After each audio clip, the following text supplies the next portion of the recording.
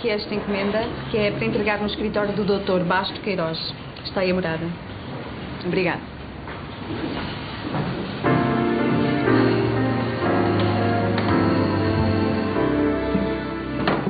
O que é que foi, rapariga?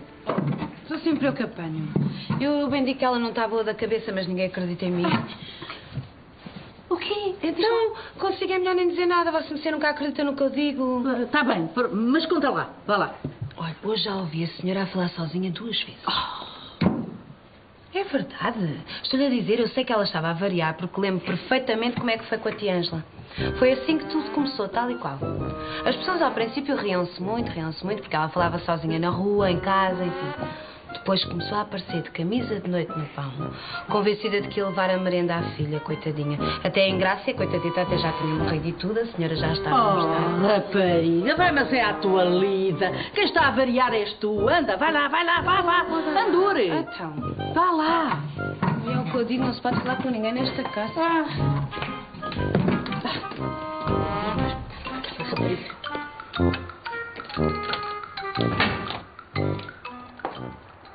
Meus amigos, esta é a minha equipa de colaboradores. A minha secretária, Cidália Figueira.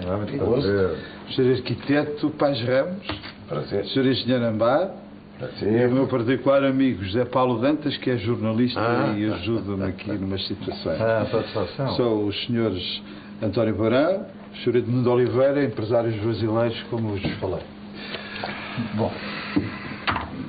Então, a viagem tinha. Foi boa? Oh, uma maravilha, graças a Deus. É uma beleza. E por lá? Muito calor, não? É verdade, muito calor. Calor é muito bom. Apesar do cansaço, é muito bom estar de novo em Portugal.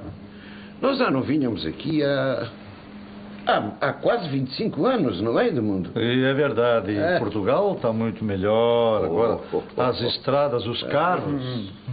Ah, e diga uma coisa, os meus amigos já trabalhavam no ramo automóvel ou já tinham essa atividade antes de irem para o Brasil? Eh, meu amigo, nós trabalhamos sempre em velocidade, compreende? É isso, a velocidade é o nosso lema. tempo é dinheiro, tempo é dinheiro, ao trabalho.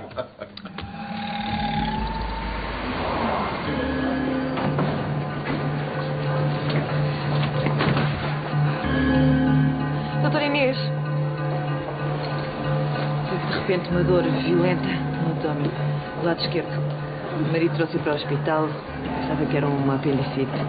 Eu expliquei-lhe que o apendicite é do lado direito. Clotilde, isto é urgente. Eu me engano muito. Ou isto é uma gravidez ectópica, porque tem uma energia interna do lado direito. É assim, vamos lá soro e ver a tensão arterial que deve estar baixíssima. Vamos lá, passar a reanimação. Doutora, é preciso fazer uma transfusão sanguínea. Sim, temos de fazer a tipagem do sangue. Guilherme, por favor, avisa o serviço de sangue. Vamos precisar de sangue no bloco. Está bem. Então, aqui tem. Só faz favor, Sr. Arquiteto, Sr. Engenheiro, José Paulo. Mas isto é é investimento para caramba. Não, Quantos dólares já estão aqui investidos? Ah, mas é que este orçamento foi elaborado ao mais pequeno pormenor, feito por excelentes profissionais, muito experimentados nestas áreas. Mas está aqui tudo, está aqui Estou tudo. vendo. Vamos estudar isto. Ali o moço é simpático, mas está muito calado. Zé Paulo. É que estou um pouco adventado. Adoentado? E e pega-se isso que você tem? Pega-se como? É doença que se pegue? Ah, não, não.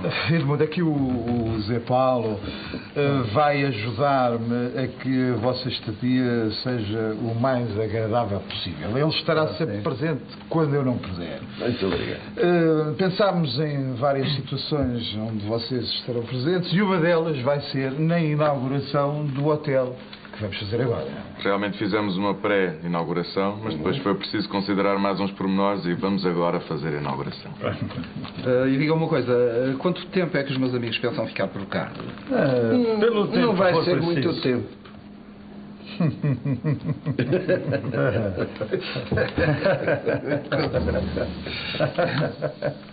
Vai começar o seminário do tal Manuel Clares Pereira. Parece-me ter interesse. Depois da sensibilização que conseguimos com a campanha das garças, podíamos aproveitar isso e fazer uma campanha parecida para as águias. E o meu serviço seria tu fotografares as águias nos seus habitats. Deve estar a brincar, com certeza. Não podia estar a falar mais a sério. As águias são extremamente difíceis de fotografar. Eu sei. Não quer dizer com isso que não se consiga tirar duas ou três extraordinárias, mas é. é... Tu és do género de conseguir os impossíveis. Já te contei que apareceu aqui uma família inteira com uma garça que tinha uma perna partida? Já me contaste essa história três vezes. Agora vais-me contar sobre as cartas que temos recebido? Das pessoas passaram a interessar-se pela preservação de habitats e ecossistemas? é engraçado. Quando se fala sobre assuntos de uma forma interessante, crescem os hostes interessados. Estás-me a dar uma grande novidade, sabias? Olha que a reportagem sobre as águias é um desafio.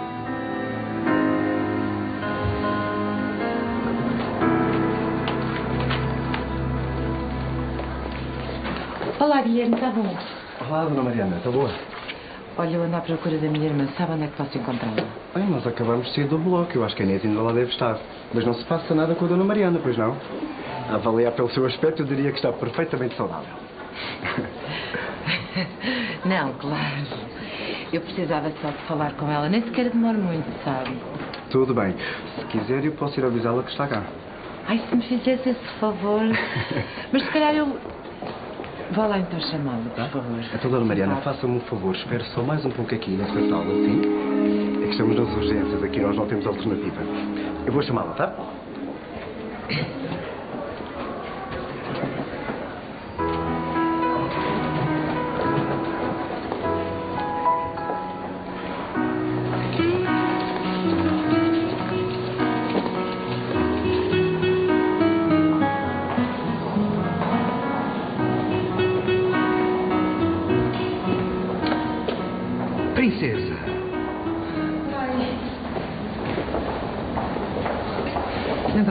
procura. Onde é que estava escondida?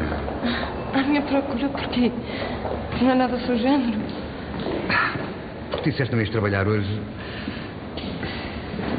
Pensei que podíamos falar da tua ida para a Itália.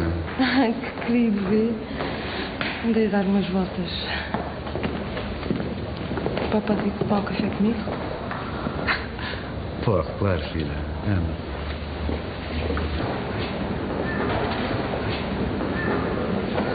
Anda.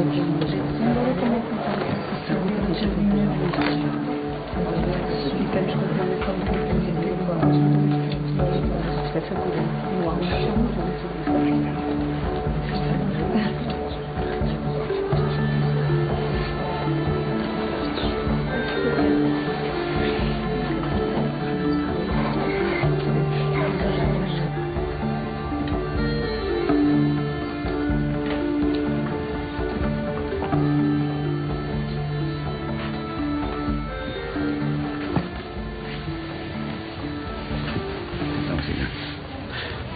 Tão raro fazeres-me visitas.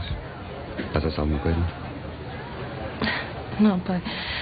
Desta vez não se passa nada ao contrário do que é costume. Tens a certeza? Desta vez é mesmo só para agradecer ao pai o facto de me deixar ir para a Itália. Não tens nada a que agradecer, princesa.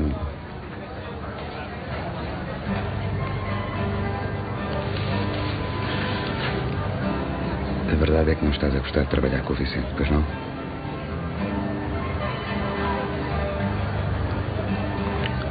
Porquê que o pai diz isso? Há uma impressão que eu tenho. Parece-me que o Vicente Massa. que o Vicente.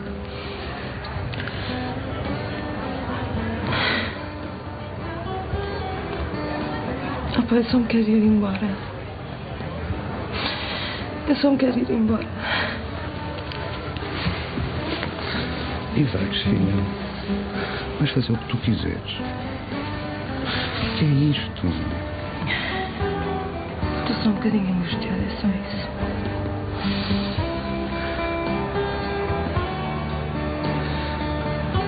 Mas passa-se qualquer coisa entre ti e o Vicente. Tem feitios diferentes, não é? gosta muito que sigam as opiniões dele, tu és de senhora do teu nariz, não é? Eu não quero falar nisso, pai. Mas podes contar ao pai. Sabes, podes contar sempre,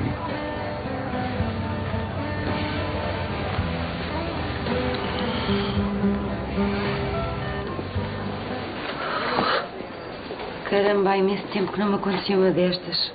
Que susto. É a quarta vez em toda a minha vida profissional que me parece um caso destes. As gravidezes extrauterinas são dramáticas. Morre-se no fósforo.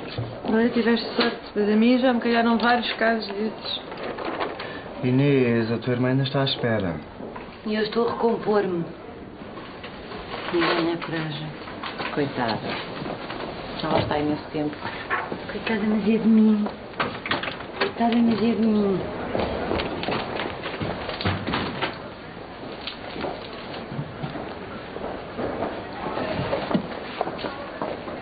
Os teus irrepreensíveis escrúpulos éticos agora mudaram? Desculpa? Sim, resto por outra cartilha ou esqueceste da imagem gostas de dar de ti mesma. Agora é tudo às escondidas, é? A tua falta de senso consegue ultrapassar sempre o que me parece possível. Tens a certeza de que é aqui que queres fazer esta cena? Fiz-te uma pergunta, Inês, e garanto que posso ouvir a resposta em qualquer sítio. Não preciso fazer nada. Ouve bem.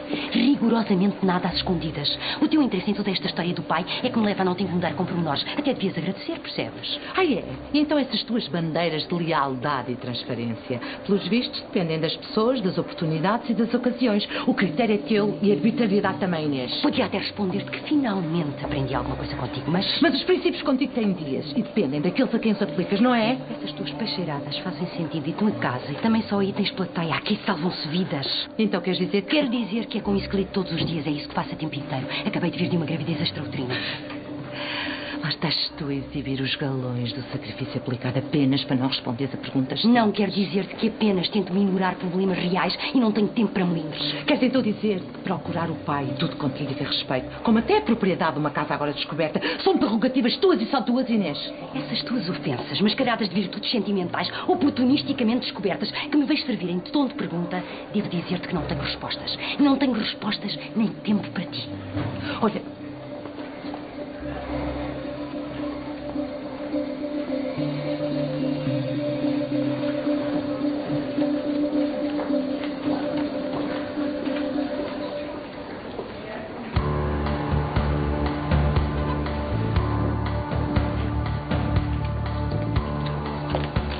Viva, Sra. Dona Beatriz. Sabe que ontem tivemos um falso alarme de incêndio.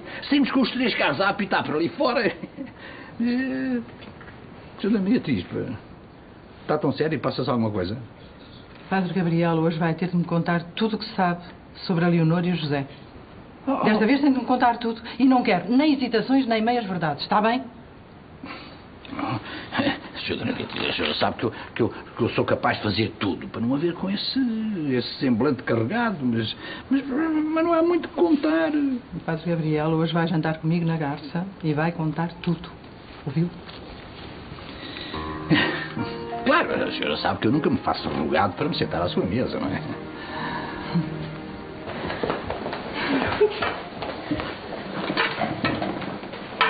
Ainda bem que te consegui arrastar. Mas o que é que foi, Inês? Que pressa é essa? O que é que aconteceu? Devias ter assistido à cena que acabei de ter com a minha irmã. Estou nervosíssima. Mas com a tua irmã, com a tua irmã como? É assim, ela veio aqui ao hospital. Tu devias ter assistido.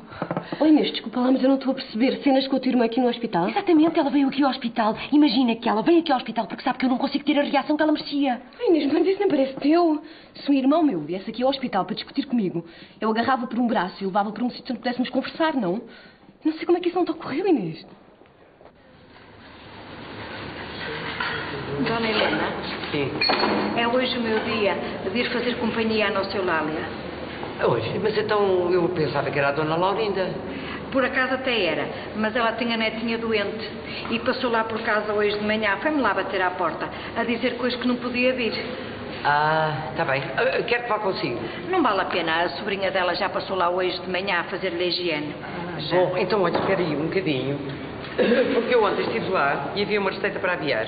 Já estão aqui no remédio. Não se importa de nos dar? Ai, não, não, eu Olha, e, e diga uma coisa, quem é que passa por casa do Sr. Evaristo? Por acaso também sou eu.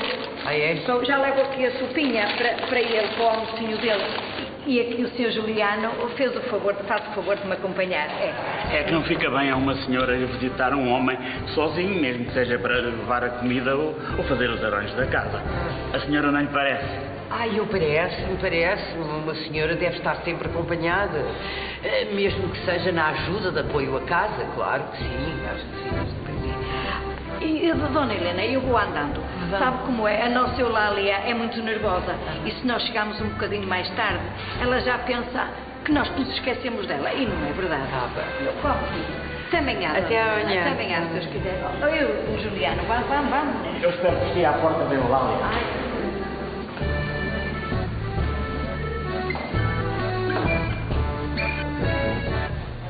Muito obrigado. A menina Matildinha está cada vez mais bonita.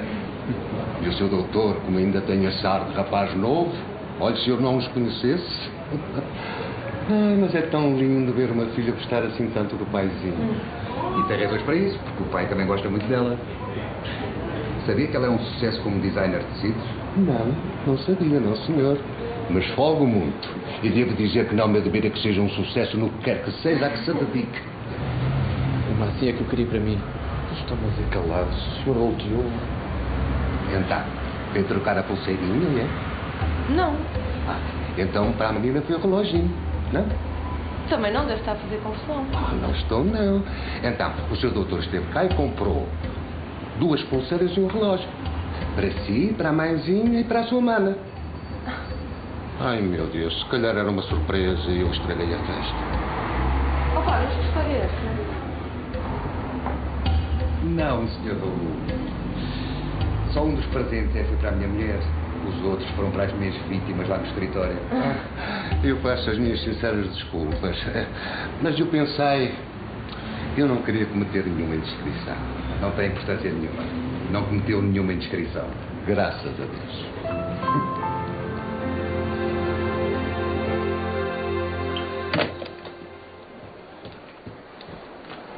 Ai, vai-se já embora?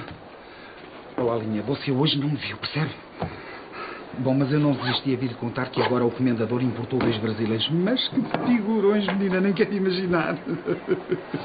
Ai, foi, Zé Paulo. E dois brasileiros para quê? Para também lhe tratarem da imagem? Não, não. Estes dois tipos até são especialistas em autódromos e, ao que parece, têm bons contactos na FIA, sabe? Então isso sempre vai para a frente, não é? Vai, vai. Estes brasileiros até eram portugueses e estão neste negócio há mais de 20 anos. Que sorte, Zé Paulo. Vai ficar rico. Não, nada, Laurinha. Bem, mas você não imagina, estes indivíduos são incríveis. Olha, um deles é todo metido a bem educado e o outro tem uma obsessão estranhíssima por doenças e as gravatas, minha querida. Você nem imagina como é que eles se vestem. É um... É... Oh, Laurinha, você hoje não me viu, percebe? Zé Paulo, já é a segunda vez que me diz isso. Então porquê? É que hoje faltei lá à flash. Disse que estava doente porque o Moretti me mandou. Quer dizer, pediu-me para eu ir lá ao escritório conhecer este brasileiro, sabe? Então e você mentiu à babicha que é tão sua amiga, Zé Paulo? Laurinha, é que foi à mesma hora da reunião da redação e eu não lhe quero car- causar problemas, percebe? É que a babicha é uma querida. Percebo, Zé Paulo. Realmente só você.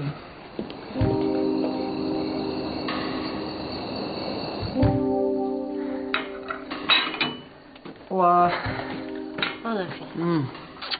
Olha, hoje estive com o par do Arthur. Ele está a fazer um tratamento, uma terapia americana, com a vantagem de ser muito mais curta que as portuguesas.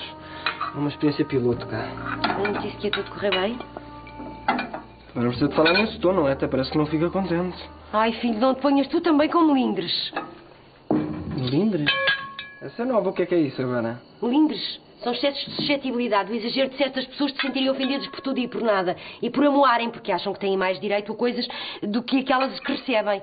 Isso é muito feio. Oh, mãe. Sim. Isso é uma coisa muito feia, a ameaça que eu tenho. Ameaça que um filho seu, vivendo consigo, era capaz de ter coisas feias. Ó filho, eu hoje não estou para brincadeiras. Está como Lindres. Ah, temos conversa.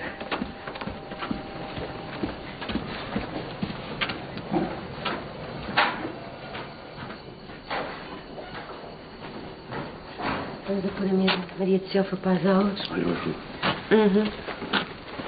Olá, tio. Vais no Felipe? Cuidadinho com os melindres, hã? Ai.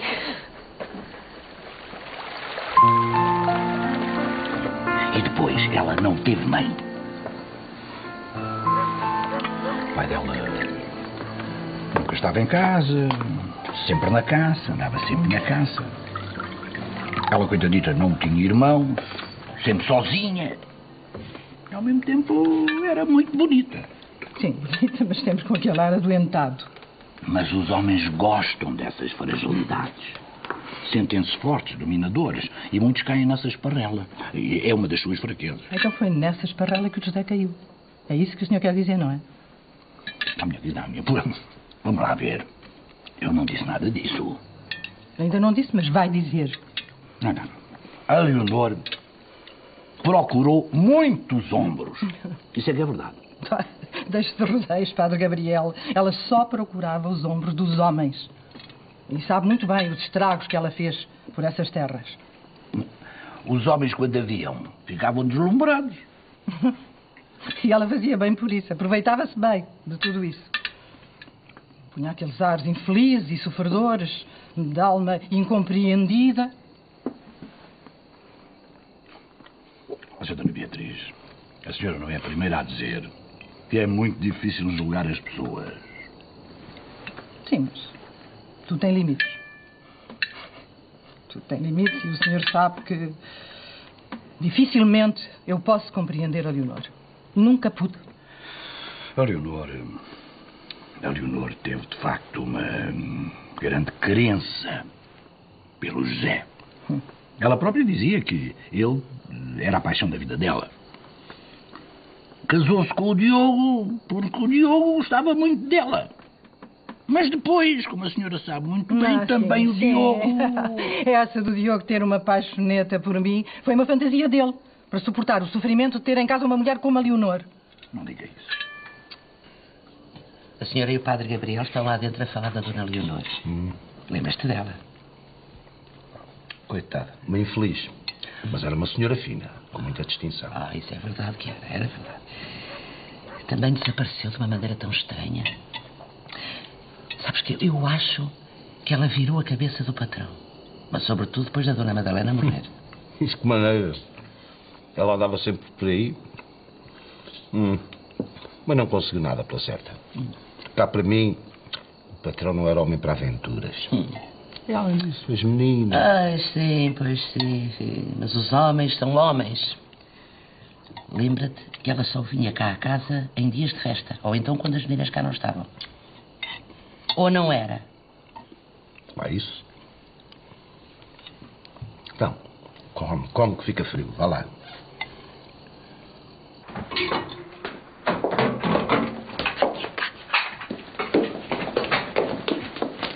Ele telefonou. Sim. O Alexandre, vamos jantar amanhã, vai ser ótimo. Oh, menina, que bom. Parabéns.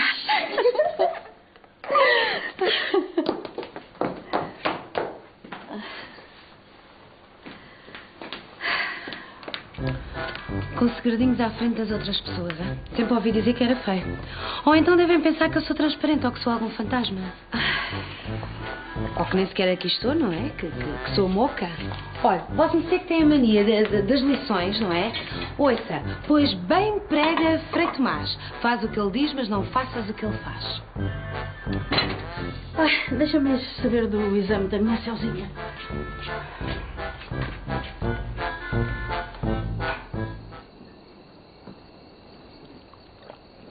Ainda não falaste disso. Mas estás chateado comigo? Surpreendido é a palavra mais exata. Eu gosto muito de ti, mas confesso que não me agrada ver-te confundir os objetos das tuas inquietações. Se estás chateada com a tua irmã, com o hospital ou com o periquito, eu posso compreender. Não aceito é que faças de mim alvo de antipatias que eu não provoquei. Sim, Maria, eu acho que estás a exagerar. Não, não estou. Porque isto também é uma questão de relações. Bem prega, Frei Tomás. O que é que dirias ao teu filho se ele tivesse assistido à cena que tu fizeste? Que fui talvez um bocadinho impaciente. Não sei se és boa avaliadora de ti mesma.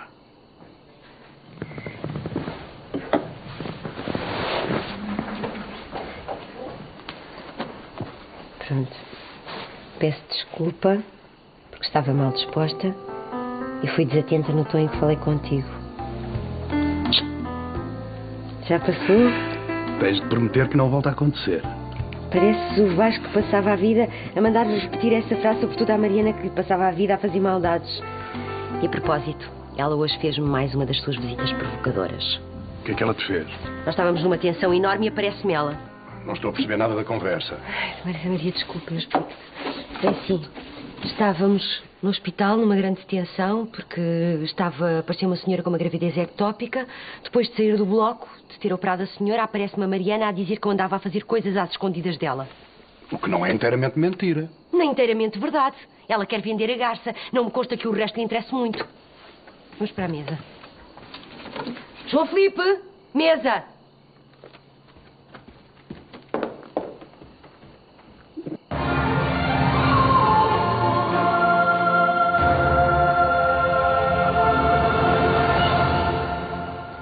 Dormir quase nada. Bom dia, querida. Então volta para a cama outra vez.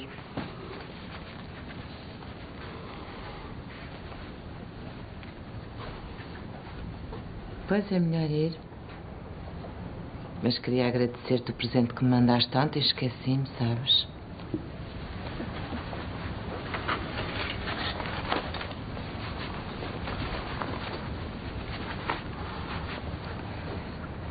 Era esta pulseira, não era, Alberto?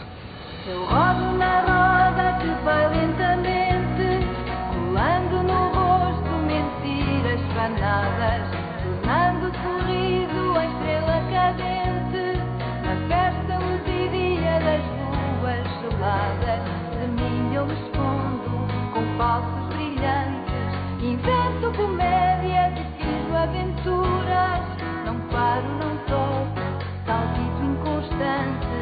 inconstante, só provo, não